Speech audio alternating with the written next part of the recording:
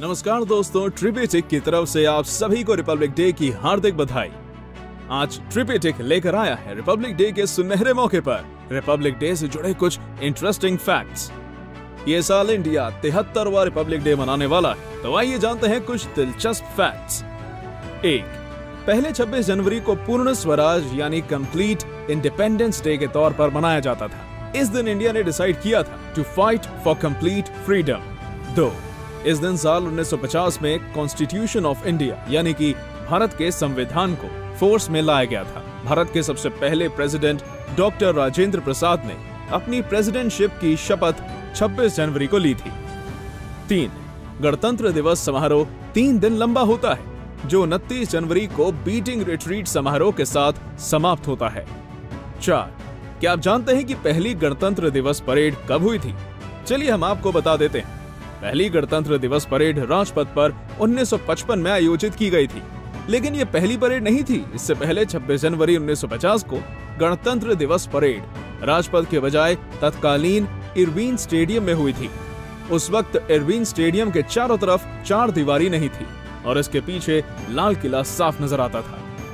Number पाँच abide with me इस नाम का एक क्रिश्चियन सॉन्ग हर साल रिपब्लिक डे परेड पर प्ले किया जाता है। ऐसा कहा जाता है कि यह महात्मा गांधी का सबसे फेवरेट था।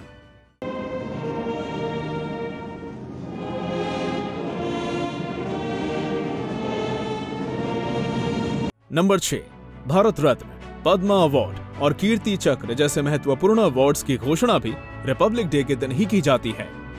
नंबर सात, आप ये बात जानते ही होंगे कि हर साल रिपब्लिक डे के अवसर पर हमारे प्राइम मिनिस्टर, इंडिया गेट पर स्थित नेशनल वॉर मेमोरियल में शहीद जवानों को श्रद्धांजलि देते हैं।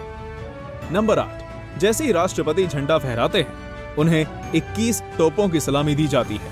इस मौके पर नौसेना और थल सेना के द्वारा देश की आज़ादी के लिए लड़े शहीदों के सम्मान में बंदूक और तोपों से सलामी दी जाती है।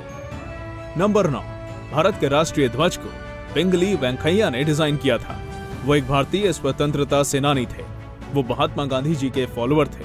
नंबर दस राजपथ पर 1955 से परेड होती है। 1950 से उन्नीस सौ चौवन से परेड की जगह बदलती रही। Lal Qila National Stadium Kingsway Camp और रामलीला ग्राउंड में इससे पहले परेड होती थी। नंबर 11 भारतीय संविधान की दो कॉपीज हैं, एक अंग्रेज़ी में और एक हिंदी में, और भारतीय संविधान की दोनों ही प्रांतियाँ हाथ से लिखी गई हैं।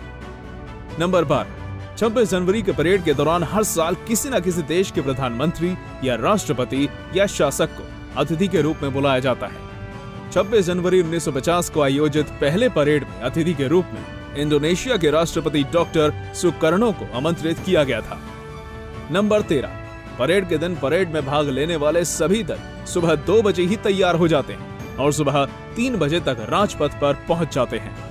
नंबर चौदह, परेड में शामिल सभी झांकियाँ पाँच किलोमीटर प्रति घंटे की गति से चलती ताकि इनवाइटेड व्यक्ति इसे अच्छे से देख सके। आपको ये जानकर आश्चर्य होगा कि इन झांकियों के चालक एक छोटी सी खिड़की के माध्यम से वाहनों को चलाते हैं। नंबर पंद्रह। गणतंत्र दिवस की परेड में भाग लेने वाले सेना के जवान स्वदेश में निर्मित इंसास राइफल लेकर चलते हैं। ये वीडियो आपको कैसा लगा हमें कमेंट सेक्शन में ज़रूर बताइए। इस वीडियो को लाइक करें और अपने दोस्तों के साथ शेयर ज़रूर कीजिए। भारत के तिहत्तरवें रिपब्लिक डे की आप सबको शुभकामनाएँ।